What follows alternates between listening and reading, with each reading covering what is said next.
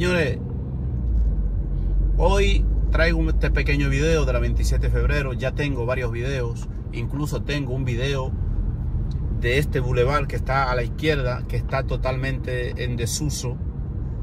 Eh, se está oxidando. Y tengo un videito que lo invito a que lo vayan a ver. Busquen en nuestro canal Boulevard de la 27 de febrero. Ahí ustedes pueden ver este recorrido un video muy bonito, es de nuestros primeros videos. Hemos ido evolucionando en el desarrollo, hemos aumentado la calidad del contenido porque hemos comprado otro dispositivo de mejor resolución. Entonces, voy a grabarle este pedacito hoy por la 27 de febrero. Hay movimientos, la gente se siente el aire de fin de año, la gente está pues obviamente en las calles, temprano, a esta hora son las 9 y 17 minutos, pues para hacer su diligencia, para comprar todo lo que necesita para su fin de año, para pasarlo en casita con una buena cenita y también, ¿por qué no?, algún traguito, una cerveza, un vino, una sidra, cualquier traguito que le guste, pues para brindar y esperar el año 2024. Así que aprovecho para desearle feliz y próspero año nuevo y agradecerle por acompañarme en todo este año recorriendo las ciudades, lugares, pueblos, provincias, municipios, calles, avenidas a través de este canal. Le agradezco a todos aquellos que se han suscrito. Espero que para el 2024 sigamos creciendo, seamos más.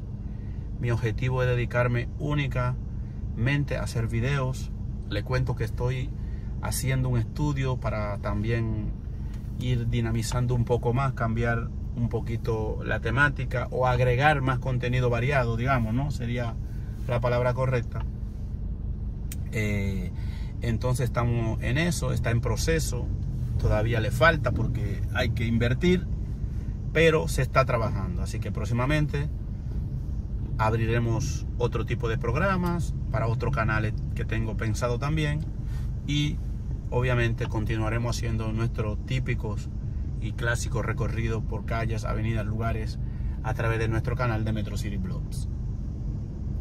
Así que bueno, mientras tanto hago este breve recorrido. Yo tengo varios videos de la 27 de febrero, no le voy a decir que no, pero en estas circunstancias, en diciembre, me gusta siempre hacerle un par de videitos de las avenidas más importantes para que ustedes vean cómo es el flujo a esta hora en estos tiempos navideños y de fin de año.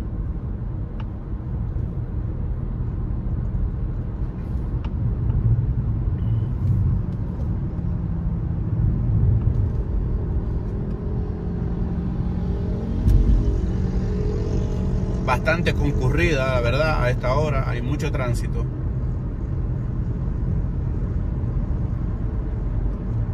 Eh, calculo que muchas personas también van a viajar a esta hora, están yendo para, para su pueblo, eligen la mañana para viajar.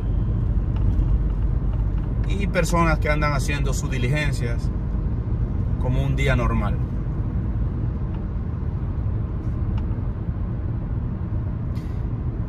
Dentro de lo que se hizo, uh, mira qué mal se metió este camioncito, pero mal, ¿eh? No solo eso, te obliga a frenar, a bajar la velocidad y si alguien viene rápido detrás tuyo, pues tú sabes que te dan un golpe por atrás por una mala maniobra de este individuo. Le decía que el, a mí me gusta que las avenidas sean totalmente planas, con los semáforos bien configurados. Yo lo he visto funcionar en países con una población más, mayor a la que tenemos nosotros aquí en Santo Domingo y funcionan a la perfección. Pero bueno, como decidieron hacer túneles, decidieron hacer eh, paso a desnivel, hasta ahí vamos bien. La 27 de febrero, esa malla en el medio me parece horrible, esa, esa muro divisorio que divide los, los carriles de un sentido y otro me parece horrible. Por eso prefiero Las avenidas planas son hermosas, maravillosas. Pero prefiero paso a desniveles y túneles que los elevados, horribles, que, que arrabalizan todo, que hicieron en la John F. Kennedy. Hubieran hecho algo similar a la 27 de febrero, aunque yo sé, no, porque sale más costoso. ¿Y cuál es el problema? Si para eso pagamos impuestos. Entonces pagamos impuestos y nos van a hacer lo más barato. Y los políticos se liquidan en los bolsillos. Que hagan, que hagan la mejor obra. Que sale cara, háganla. No es con dinero de ustedes, es con dinero del pueblo. Entonces, lo paso a desnivel, digamos que lo puedo digerir. Ahora, ¿qué, qué yo prefiero? Avenida totalmente plana, semáforos bien configurados, priorizando la avenida que más flujo circulan, que en este caso sería la 27 de febrero. A mí me gusta así. La, la 27 de febrero, antes de hacer esta obra, era hermosa, hermosa, me encantaba.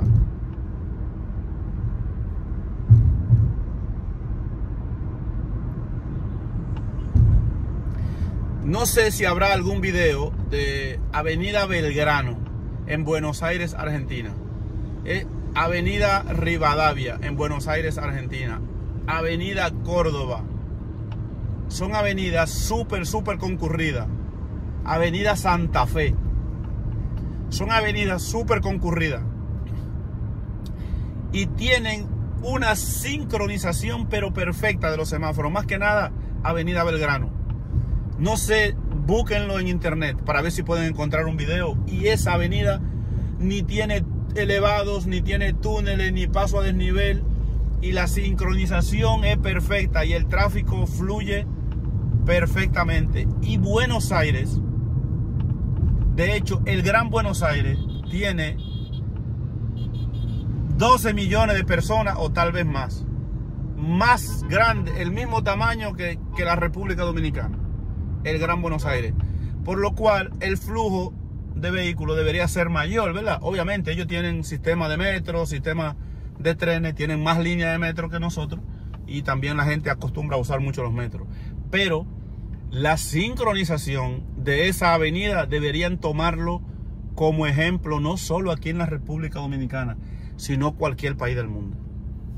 Búsquenla, Avenida Belgrano, Buenos Aires porque yo la tomaba, yo conducía allá también, señores, y le puedo decir que cuando tú tomas el semáforo en verde la primera vez, hasta, al fin, hasta donde termina la avenida es que tú te detienes, porque cada vez que te acerca el semáforo cambia. Una locura, lo sometí a prueba cuando eso yo no grababa video, yo no tenía este canal. Y una de las cosas que cuando vuelva a Buenos Aires quiero ir y quiero hacer un video de esa avenida para tomarlo como ejemplo para mostrárselo. Pero claro, debe haber algún video en internet, en YouTube hay de todo. Y eso es un ejemplo de que el, por el hecho de que la avenida eh, no sea, sea totalmente plana, significa que va a funcionar mal. Eso es mentira. Lo que pasa es que, claro, tú tienes que tener un buen sistema de semáforo configurado eh, dándole la prioridad al, flujo mayor y no solamente eso. La manera de conducir de cada uno influye mucho también para que el tránsito no se detenga y que, que no empeore las situaciones por cosas circunstanciales. ¿Entiendes? Entonces, ese es uno de los problemas. Bueno, mi gente, aquí estamos en el mismo tapón de siempre. Esto yo lo he grabado un montón de veces. Esto es pintura, ¿verdad? Todos sabemos lo complicado que es pintura porque es que desde aquí eh, salen un montón de vehículos para el, todo el sur del país y el ingreso también de todos esos vehículos de todos esos pueblos del sur. Así que bueno, mi gente. Eh, vamos a continuar este tramo de la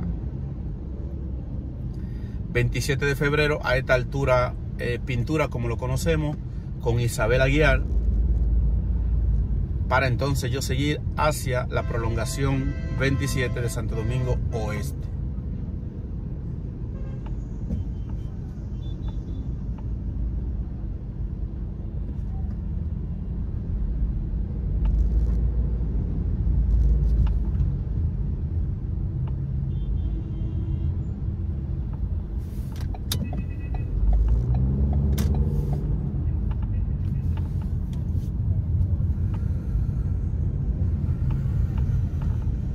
Lo que le digo, muchos de estos vehículos salen eh, fuera ya de, de la ciudad porque se van de fin de año. Aquí hay una parada a la derecha que va hacia el sur también. Todas estas guaguas que están paradas ya a la derecha van para el sur del país y eso es uno de los problemas. la mayoría va para, para el carril derecho. Miren aquí como ya afloja. ¿Ven lo que decía? Aquí ya cambia de nombre, es la prolongación 27 de febrero. Eh, tengo muchos videos de aquí, de la prolongación 27, así que los invito a que lo busquen, que lo miren, si quieren conocer un poco más esta avenida. Ahí se está construyendo un edificio, una plaza eh, nuevo, un proyecto bastante enorme, bastante grande. Y bueno, mi gente, vamos a dejarlo hasta aquí. Gracias una vez más por mirar mis videos. Suscríbanse los que no están. Y nos vemos en la próxima en un video más. Metro City Vlogs.